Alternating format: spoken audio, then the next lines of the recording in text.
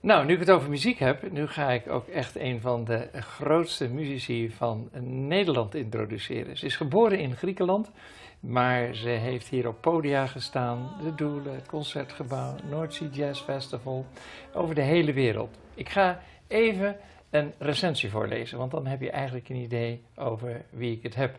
Maria Marcassini. Een gefluister verspreidde zich in het publiek van de opera zodra Maria Marcassini verschijnt op het podium met haar lange rode haar, porseleinen huid en designerkleding. Het is onmiddellijk extravagant en boeiend. Een stem die steeds diametraal verandert in kleur. Achtereenvolgens zonder enige moeite of inspanning. Diepe en lage charmante vibrato klanken en hogere octaafklanken. En colorature sopraanverwisseling. Luchtig, fragiel, teder en buitenaards moeiteloos. En tegelijkertijd krachtig en vol vurige passie. Dit alles samen met het talent van een echte performer op het podium. Met een natuurlijk instinct voor spanning, drama en humor. Toen ik dat las, toen dacht ik, ik moet Marie interviewen. Wat geweldig. Dankjewel. Dat was in Duitsland, ja. Ze hebben geen last van Calvinismus, zeg maar.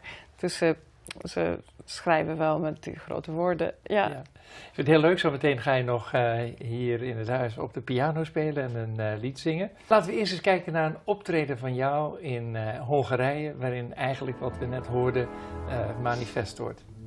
Papa, please forgive me. Try to understand me. Papa, don't you know I had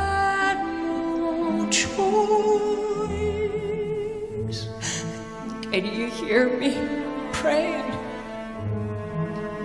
Anything I'm saying, even though the night is filled with voices,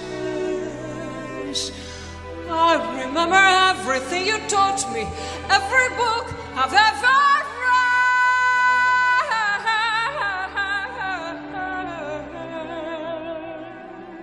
staat daar voor een zaal. Deze mensen komen om naar een uh, muzikus te luisteren.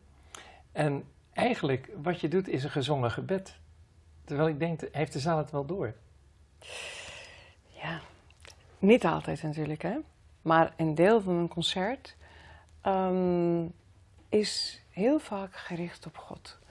Um, het was niet vanaf het begin. Uh, in het begin had ik meer het idee, nee, nee, ik moet scheiden, dit is gospel en dit is seculier. Uh, tegenwoordig doe ik het niet. Ik ben wie ik ben. En uh, momenten van echtheid, momenten van contact met God, ik laat het gewoon gaan. Ja. En tegenwoordig uh, maakt het me ook niet zoveel uit wat mensen denken daarover. Ja. Hoe sta je in relatie met God? Hoe, hoe, zie je God? God is mijn alles. God is. Um, mijn vreugde, mijn hoop, mijn liefde en, en puur genieten. Leg dat eens uit. Hij, Jezus zei, ik, uh, ik noem jullie geen slaven, maar vrienden. Ja. Vriendschap met God. Uh, ja, het is niet makkelijk om het uit te leggen in een paar zinnen, maar in ieder geval, het is puur genieten. En dat doe je dus elke dag? Elk moment. Laten we eens even teruggaan naar uh, de, de, jonge Maria die opgroeit uh, op een, uh, in een prachtig deel van Griekenland. hoe zag jouw leven eruit? Mijn vader was een evangelist, voorganger van de plaatselijke gemeente ook. En zijn leven was het evangelie en God. Thuis hadden we geen televisie. Dus mijn, mijn wat was mijn entertainment, zonder internet, zonder televisie, de zee, de rotsen, de bergen, de bijen, de, de vogels en uh, muziek, heel veel muziek spelen.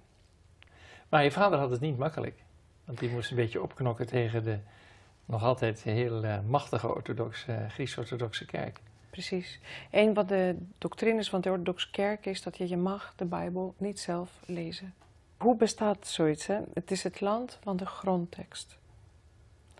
En eenvoudig mensen kunnen gewoon de grondtekst lezen. Maar nee hoor, het mag niet van de orthodoxe kerk. Dus mijn vader had een visie en een missie om de Bijbel in elke huis in Griekenland te brengen. Dus met een, met een uh, koffer vol Bijbels reisde hij met de auto, met de trein, lopend, op, op een ezel, hoe dan ook. Uh, en hij gaf Bijbels aan iedereen. Was het gevaarlijk? Het was, het was gevaarlijk. Maar mijn moeder was een eh, belangrijke vrouw. Mijn moeder was de directrice van de Belastingdienst in een heel groot district. En iedereen was bang voor mijn moeder, dus ze lieten mijn vader een beetje met rust. maar uh, heel vaak had hij, had hij het erg moeilijk met orthodoxe. Dus je groeide op in een uh, diepgelovig gezin. Oh ja. Hield je dat vast? Ik, ik was geboren artiest van nature extravagant en uh, anders dan anders. En ik wou niet tussen de, de lijntjes kleuren. En, uh, en dat, dat, dat mocht niet helemaal, want ik was echt anders en ik had ook een mening over alles. En um, ik, ik hield het vast tot mijn achttiende. Maar op mijn achttiende dacht ik, nee, nu moet ik de waarheid voor mezelf vinden en ik heb het geloof gewoon afgestaan voor mij geloof was meer een, ja, wat was, ja, allemaal regels, heel veel regels. Als je Jezus niet kent, word je geconfronteerd met religie alleen. En uh, je denkt dat, dat dat is wat, wat, wat je ouders geloven. En, um, maar ik werd binnen een jaar diep ongelukkig en depressief. Ik had in een jaar alles gedaan en gezien wat ik wou doen, wat thuis niet mocht. Op een dag uh, werd ik uitgenodigd uh, uh, naar een christelijke conferentie in het noord van Griekenland. En nou, ik had helemaal geen interesse inhoudelijk in de conferentie. Maar ik zou wat vrienden ontmoeten en Noord-Griekenland is altijd mooi. En ik ben gegaan. het was leuk, mooie muziek, oude vrienden. En op zondag um, zat ik naast een uh, spreker en ik keek naar hem tijdens het avondmaal. En ik zag iets. Ik had niet om gevraagd, ik was niet voorbereid, maar het gebeurde ineens.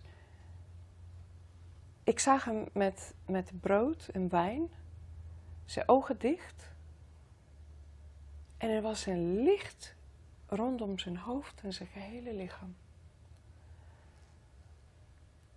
Ik dacht, wat zie ik nou? Ik, heb werkelijk zo gedaan. Wat zie ik nou? En hij keek omhoog en begon te bidden. En dat licht werd intenser. En in één seconde wist ik het. Wat ik niet gevonden heb in de muziek, in de vrienden, in de vrijheid, in, in, in de mooie natuur. Dit is het. Een mens die uh, één is met de schepper op dat moment. Uh, dezelfde avond moest ik terug uh, reizen met de trein naar, naar, naar Athene. Ik deed de lelijke, vieze raam open van de trein en ik kriep voor het eerst in mijn leven tot God.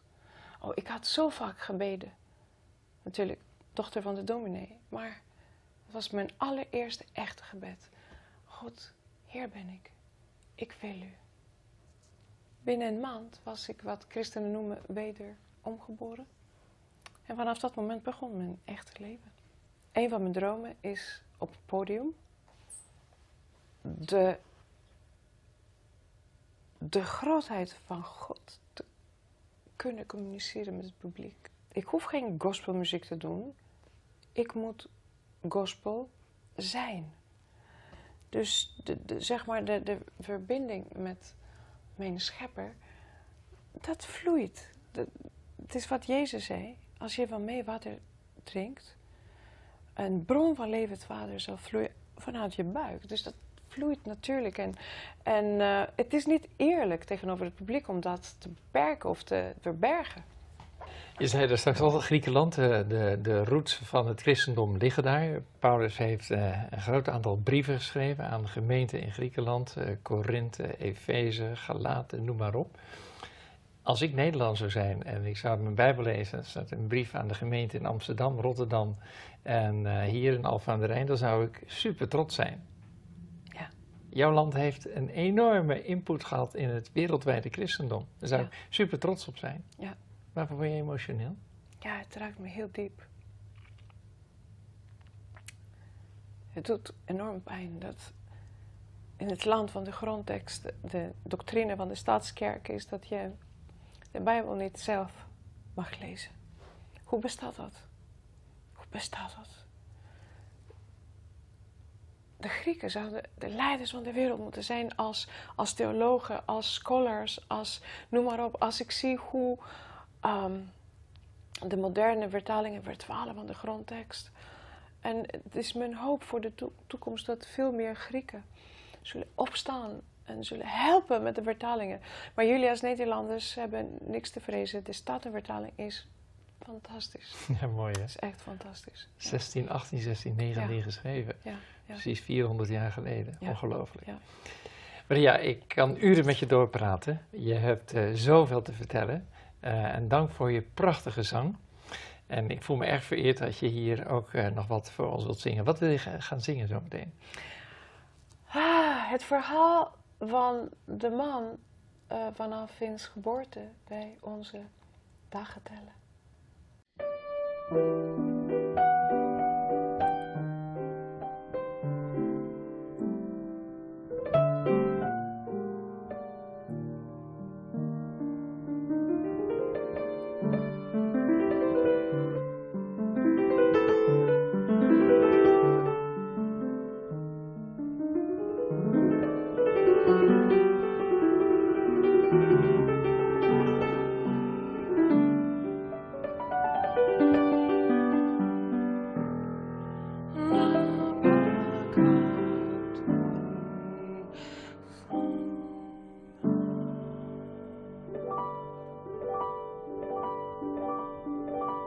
And some through the years called him a prophet,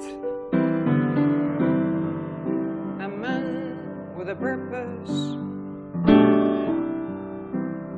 And some say he was just history.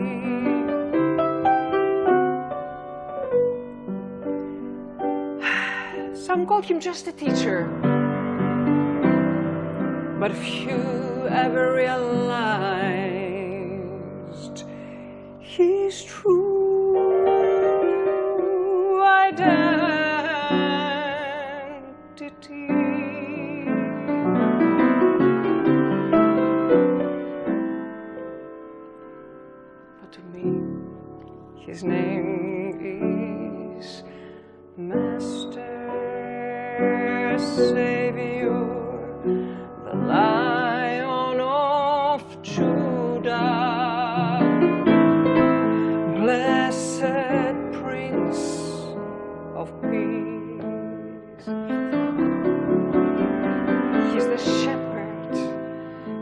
fortress,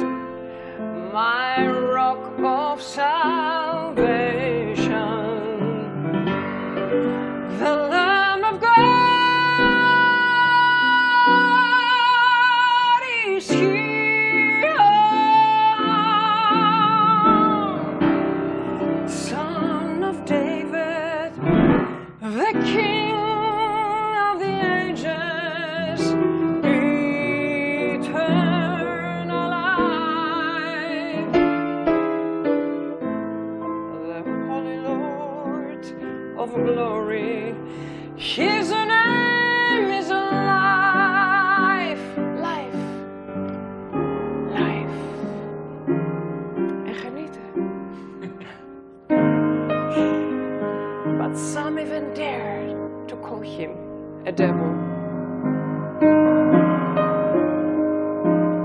Because of his powers. You see, they just could not understand.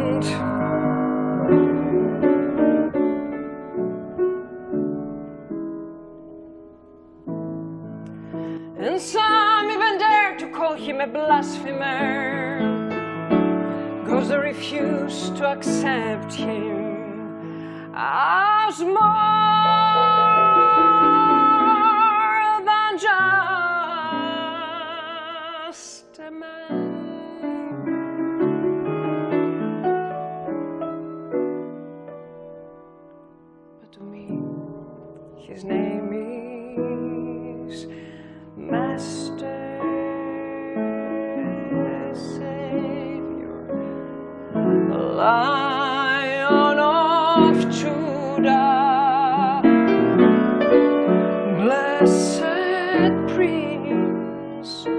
Of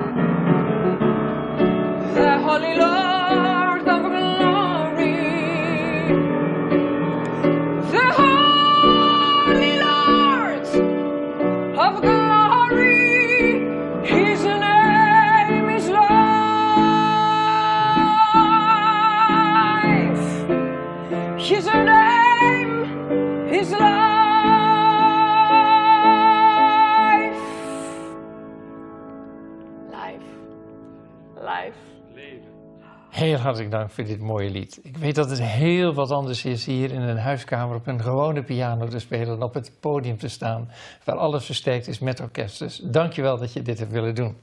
En eh, je bent een geweldig talent. En ik geef je graag dit bord mee, het credo van de kerk. Je bent geliefd. Een aantal kaart om aan je vrienden te geven. En dit van de dirigent van het koor van Hour of Power. Alsjeblieft. Prachtig. Heel hartelijk bedankt. Je hebt me wat geleerd vandaag. En de kijkers. Genieten. Genieten. Genieten. Gaan we Ik doen. ook bedankt voor de uitnodiging. Dankjewel.